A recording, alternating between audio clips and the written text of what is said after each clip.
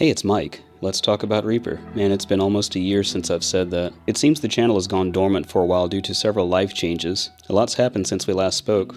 I quit my job with the clinic, started a new business, had a new granddaughter, and all sorts of fun stuff. While I haven't exactly forgotten about the channel, I haven't had a whole lot to show on it lately. I don't think that I'm alone in this. As I check out the channels of several prominent Reaper-centric YouTubers, it looks like all of us have come across a bit of a dry spell. Fortunately, I got a call from a friend yesterday with an interesting question. LeBron over at Pirate Studios was sent some stems, that is a lot of alliteration, sent some stems, and he would like to be able to edit those stems for his client, much like in the way that I show in the drum editing in Reaper course on Pro Mix Academy. I don't know if the client tracked the project in Reaper, and he wasn't sent a project file for Reaper, so my assumption is that the client tracked in a different application, consolidated the takes, and sent him the resulting stems. This presented some interesting challenges for LeBron in setting up his project in a way that's conducive for effective drum editing. In today's lesson, we'll learn how to import multiple takes from a multi-mic session from another DAW and set them up properly in Reaper for editing. Let's take a look. In the project that I don't have open, you'll see my wallpaper and a whole bunch of icons. I wanted to start from ground zero so you can see this exactly as I would do it from the beginning. I've already downloaded the zip file containing the stems and extracted them into the folder that I plan to use for the project. So I'll open my Reaper Projects folder, conveniently located on my desktop and now conveniently on my other monitor. Let's move them over here. I'll go into my 2025 folder and the stems question folder where I've extracted the audio.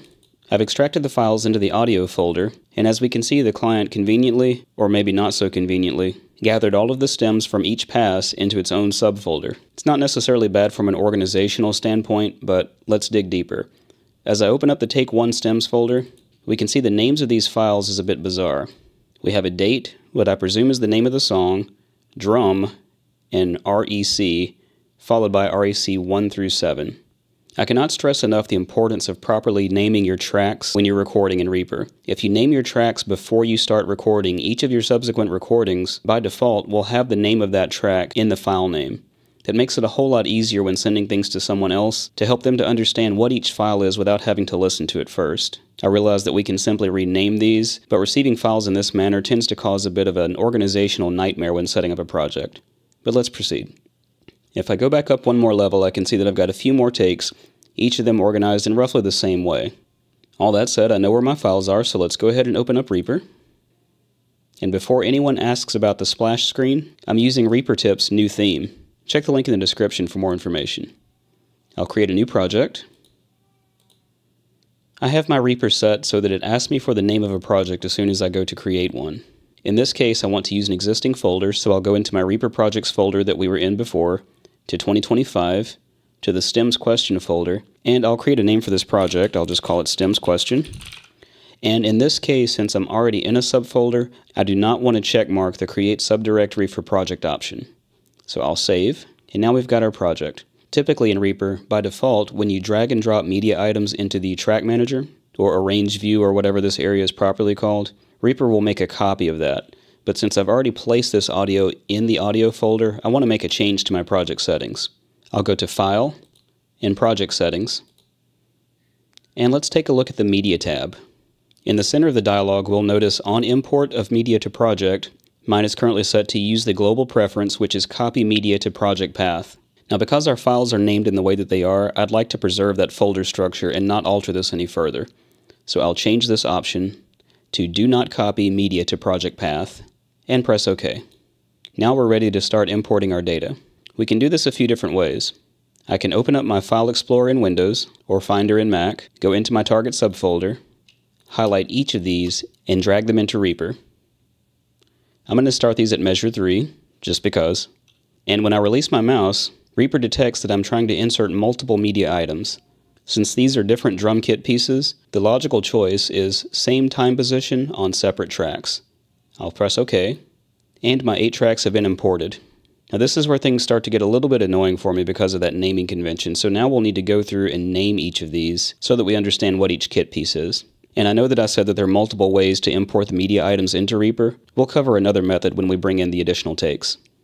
I'd like to see the full extent of my project, so I'll press Control or Command page down. Now I can see my waveforms, and I'll solo these one at a time to try to figure out what they are. If you right-click the solo button on the desired track in the Mix Control panel, that's a mouthful, I have a few different options for solo. In this case, I want to use exclusive solo, which you can see that that is also bound to Control Alt and left click. Knowing that shortcut is just going to save me a few extra clicks as I go from track to track. So I'll move my playhead to a position where I've got some audio, and let's take a listen. That sounds like snare top to me, so I'll name track 1 snare top. And knowing that my exclusive solo shortcut is Control Alt click, I'll Control Alt left click the solo button on track 2, and that gives me exclusive solo on track 2 without having to unsolo track 1. Hopefully track 1 is snare bottom, but let's find out. And indeed it is, so let's name that track. We'll exclusive solo on track 3. Make sure that we find where there is data on that track. That sounds like a kick drum to me. Moving on to track 4. That sounds like tom 1. Now looking at the remaining tracks, I'm going to assume that this is tom 2, tom 3, and then overheads, but let's be absolutely sure before we proceed. We'll try track 5, tom 2, track 6, tom 3, track 7. That is an overhead. I'm going to assume it's left. I can correct these names a little bit later. And it's probably fairly safe to assume that this is the opposite side overhead. That is definitely the overhead, but I believe that this is the left side, assuming the drummer is left-handed. So let's go ahead and rename this. Now once you've got these tracks renamed, because of the naming convention that was contained in the files themselves, it is very important that we do not rearrange these tracks until we're ready and have all of the media imported to the appropriate places. I'm going to shrink my tracks and shrink the project to where I can see all of the tracks again. And we'll go back to measure 3 where we started now we're ready to import the remaining tracks. And this time I'd like to open the Media Explorer. So I'll click on View and Media Explorer or Control Alt X. Now you'll notice you've got a few shortcuts on the left hand side of the Media Explorer and what I'd like to focus on is Project Directory. That will take me directly to the project in question, particularly inside of the audio subfolder. I'm ready for my Take 2 stems, so I'll open that folder. And we should sort these by file name to make sure that we're following that same naming convention. In this case, the naming convention is a bit different, so I'm hoping that these last two files are the overheads. We can preview them by clicking them. And it sounds like these are not named correctly. Interesting. Let's try the next one.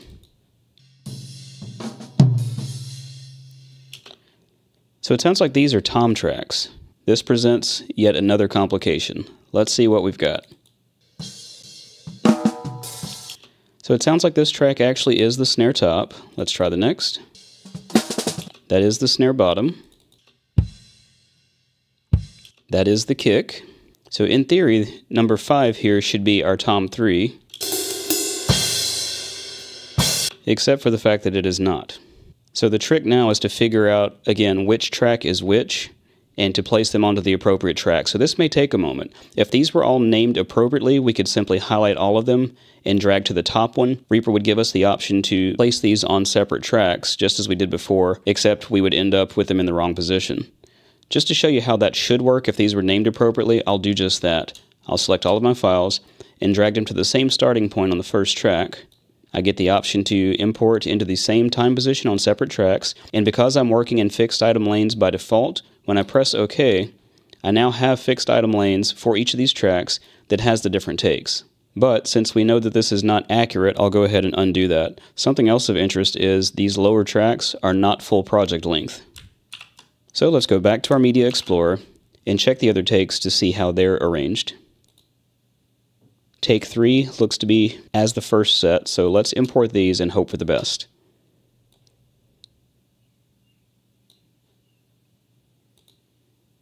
And if I close my Media Explorer, these line up appropriately, and hopefully they are all the same kit piece. One thing I'd like to do before I proceed is go ahead and group my tracks for media editing. So I'll highlight track 1 and hold shift and highlight track 8 to ensure that all of those tracks are selected. Next we'll need to go into our grouping menu. If you like digging through menus, go to Track, Track Grouping, and Track Grouping Parameters, or as you can see in the keyboard shortcut here, the default is Shift G. Now we can set our grouping parameters for our eight selected tracks. If you're planning on making multiple groups, it's not a bad idea to rename these, so let's go ahead and rename this drums, or drum editing, or whatever you'd like to call it.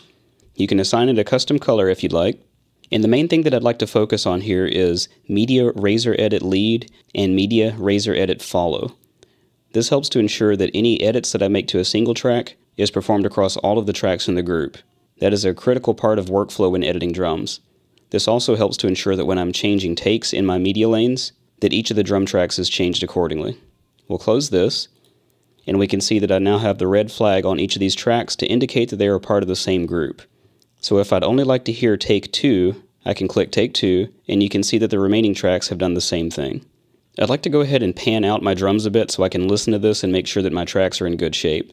So I'll take my overhead right and pan that to the right, overhead left to the left, tom 3, I'll pan that hard right, tom 2, let's just leave it in the center, tom 1 to the left, kick, snare top, and snare bottom can stay in the center, that's fine. Let's take a quick listen and make sure that this sounds cohesive.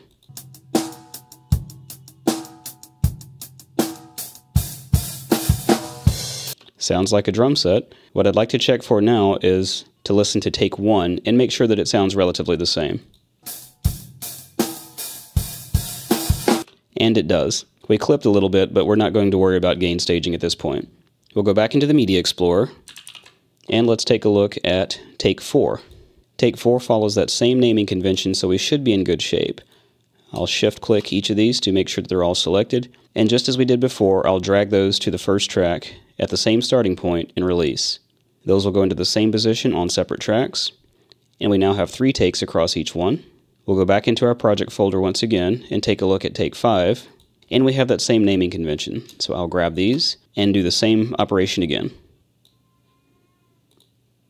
Now I've got my four takes on each of these tracks. I'll get the mixer out of the way for just a moment and we'll extend each of these just so we can see if I can grab them. And as we said, we've got four takes on each of the tracks.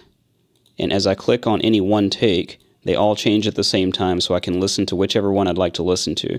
At this point, yes, our project file names are all sorts of unusual, but we can still work with this. I won't go into a full-on drum editing tutorial on this because I've got plenty of videos on that available on YouTube as well as in the drum editing in Reaper course. But hopefully this has been helpful and will show you what I consider to be a pretty good way of setting up a project to prepare for editing.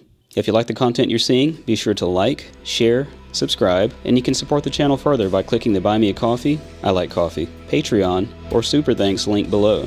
And if you like this coffee cup, you can get one from the link below. If you'd like to stay in touch in between videos, definitely hop on that Discord server, and we'll see you next time, however long that is.